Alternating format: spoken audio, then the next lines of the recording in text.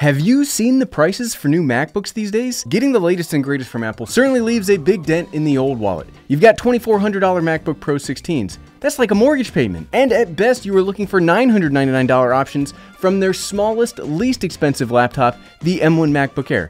That's like a car payment. So can we actually find a cheap, yet decently functional MacBook to save us all some money?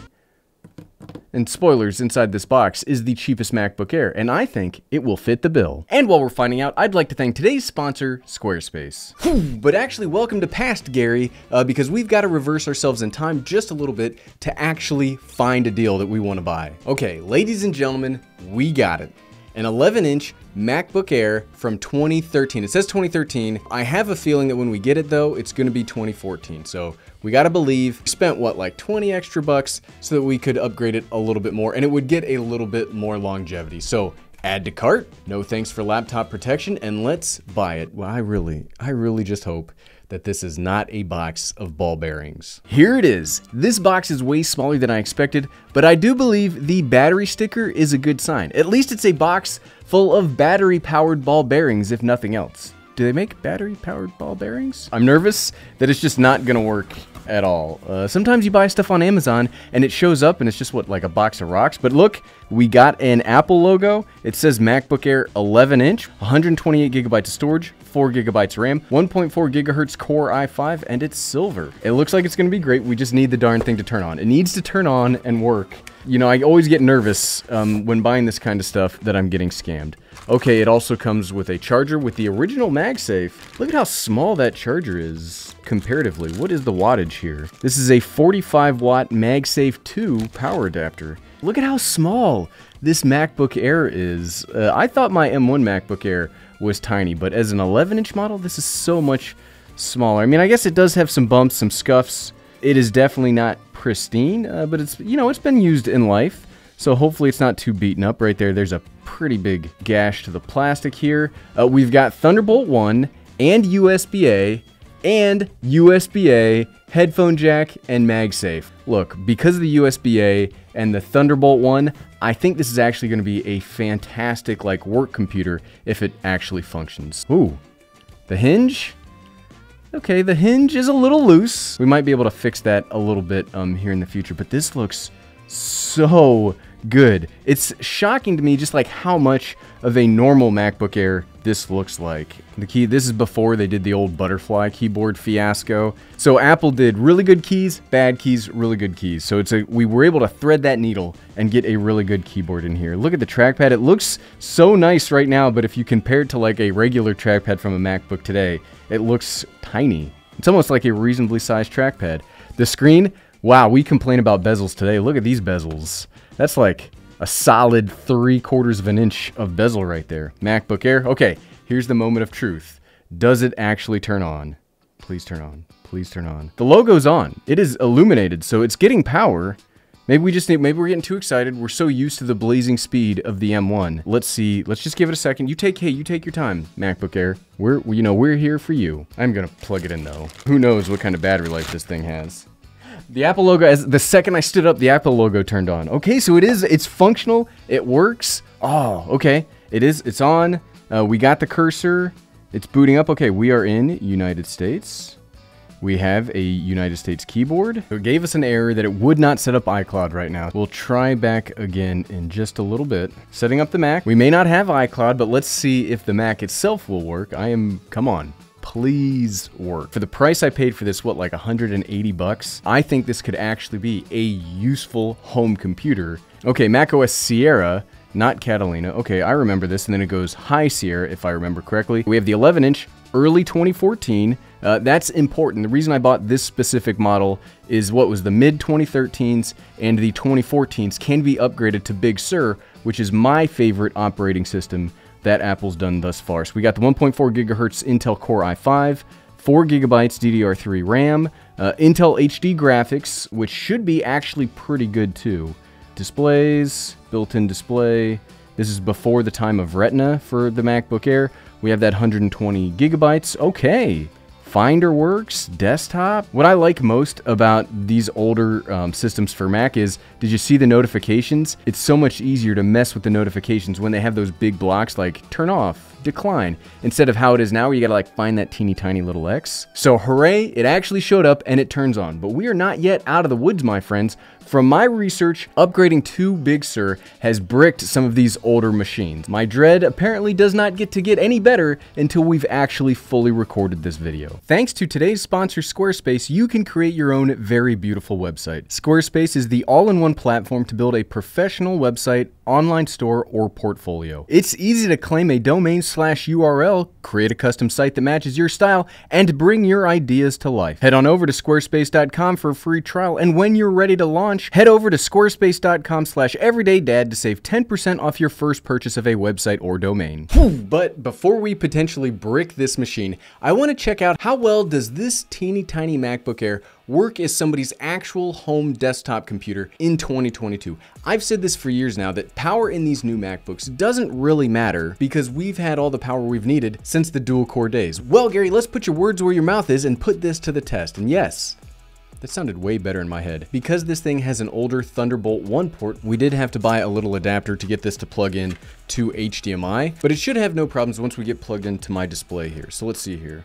Plug in Thunderbolt 1, put you over here, we plug in HDMI, Okay, here we go. We got everything plugged in, and because it has the magic that is USB-A, it should just work with all my regular accessories because those are still, to this day, USB-A. Oh, there we go!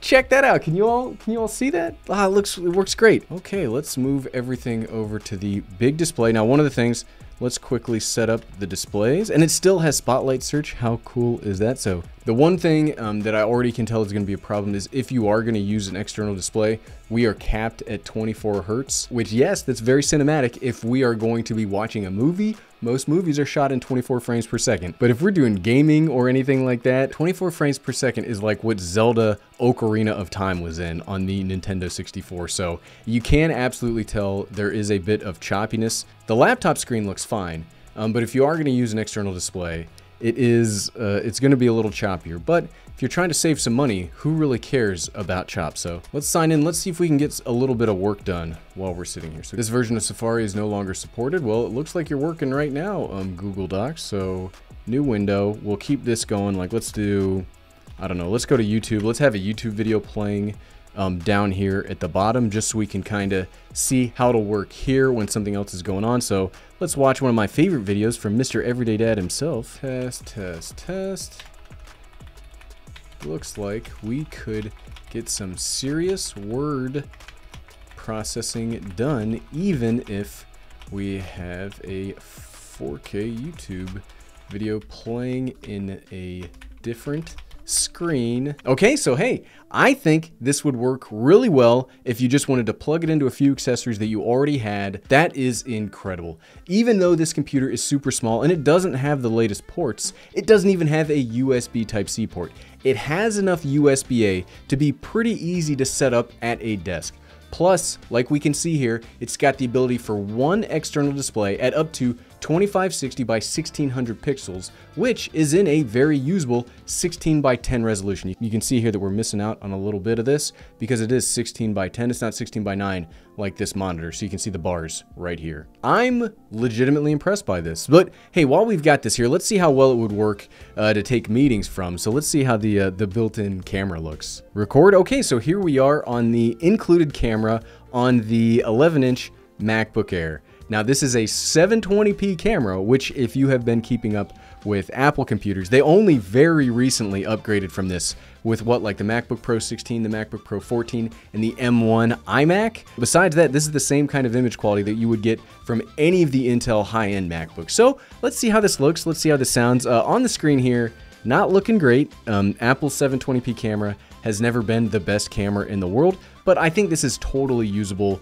uh, if you were going to take meetings from this MacBook, say you're on Teams, say you're on Discord, anything like that. Um, I think this has been a shockingly easy working from home computer to set up, both in that you can tie in easily to a keyboard, mouse, and display, and that you can take your meetings just from this computer. That's so great. Okay, well, we can't put it off any longer if we want to actually benchmark this thing. So let's upgrade this to macOS Big Sur. Now, again, that is my favorite operating system that Apple's ever produced, and we can still do that on a 2014 MacBook Air. Some Macs will not be able to get like the latest operating system, which is Monterey, um, but you still can get better than what you currently have. You can't just click on software updates and expect to get the specific version you want. So what I did is I Googled, can I get older versions of macOS? And that will take you to the Apple support page of how to get older versions of macOS. All you have to do is check and make sure that you've got the correct compatibility with your machine you can make a backup if you want to. Then you use Safari to download macOS on your Mac. Now, what this actually does is it will open up the App Store when you click on it, and it will bring you to that specific installer. It won't let you download it. Uh, maybe there's a way to do it that I haven't been able to find, but this is the way that I've been doing it. So open macOS Big Sur installer, continue. Besides turning it on and having it just be a brick, this is the part of the video that I've been really afraid about because I have seen so much online about Big Sur bricking a lot of these old Macs. So everybody out there, everybody, let's all come together. Let's all cross our fingers. Let's just send positive energy straight into the MacBook Air that this update actually works. Um, because I really like Big Sur and I really want this computer to be running on it, but I also don't want it to get bricked. So here we go with about two hours and 19 minutes remaining. Dang. All right, well, I guess we're settling in for the long haul. Okay, so we made it off the installer page. We are going one step at a time, and it looks like this is actually going to happen. I'm getting pretty darn excited that I'm going to be able to actually use this MacBook Air. So I've got to step out for a little bit. So hopefully by the time I get back, this will be fully ready to go uh, with Big Sur. Okay, just walked back in the door from taking my son to trumpet practice, and we came back, and we are now on Mac OS Big Sur uh, for the MacBook Air. That's so, I love it. I was really really scared that I was going to have problems with Big Sur or that it was going to lock the whole MacBook Air. This is incredible. So we have one of the most modern operating systems now running on the 2014 MacBook Air, macOS Big Sur version 11.6.6. Okay, so now let's get some benchmarks in and see just how powerful, how far we can push this MacBook Air. Okay, back to the work desk. We've got the MacBook Air in a somewhat stable condition, so let's run it through a few benchmarks just to see how actually powerful this thing is. So first off, you can see here, we've got the standard CPU tester that I normally use here. This is called Cinebench R23. I do have the previous scores up, then we'll compare the two just to see what we can get. So ready, set, go. We'll start off with the multi-core performance because that's where when you do a multi-core test, when you see those big numbers like these big numbers compared to these big numbers, that's multi-core. We only have a dual core processor inside of this thing, so I imagine the multi-core score not going to be great. For example, the M1 MacBook Air has an 8-core processor. 737 for a multi-core score. That's very, very low. I don't know that I've ever gotten that low of a score on a processor before. But again, this isn't, it's a MacBook Air from 2014. If you're buying this for power, I would say maybe you have the wrong understanding of what this computer can do. Let's run one more very important benchmark to see if this could be used as maybe a mobile gaming platform. Now, the game that I play pretty much more often than anything else is World of Warcraft. Can you World of Warcraft on the 2014 MacBook Air? Just remember, uh, this will be in 24 frames per second because that's all it is limited to for external displays. But let's just see if it'll even run in like a usable level. Uh, I'm actually, I'm pretty excited to see this. I remember playing World of Warcraft way back in the day on like a tiny little netbook. And this was what back in like 2009, 2010. So I would imagine even an older MacBook Air from four years after that should be able to run it at, you know, if I drop the settings down all the way, um, I would hope that it would be in a playable state. Can we heal a dungeon and maintain a stable 24 frames per second? This would have the power to then say, hey, yeah, I can do it if you weren't on a monitor. Looks like we're able to get all of our healing spells off uh, pretty easily, so I think we're to be able to do it. Ooh, and this is one of my favorite ones, too. Okay. Turn game.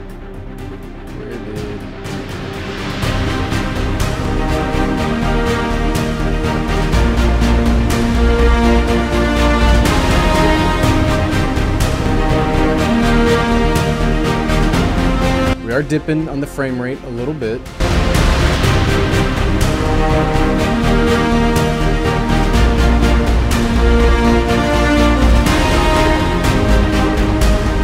And it crashed. Not a great sign, um, but it was, as you saw um, when we were playing on the uh, the big monitor, it was able to play at least at 24 frames per second for an external monitor. I imagine it would do even better just playing on the uh, regular monitor. Look, real talk, I am very impressed with this laptop. I cannot believe the value we've gotten today for $186.